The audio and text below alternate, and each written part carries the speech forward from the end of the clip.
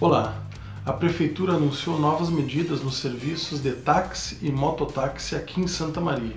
Conforme o secretário municipal de Mobilidade Urbana, Orion Ponce, a partir dessa terça-feira, 24 de março, a frota de táxi está reduzida em 50%.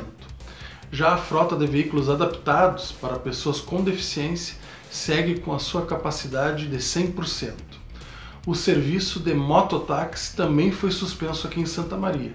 Já o serviço de motofrete, a famosa teleentrega, segue sendo permitido aqui no município.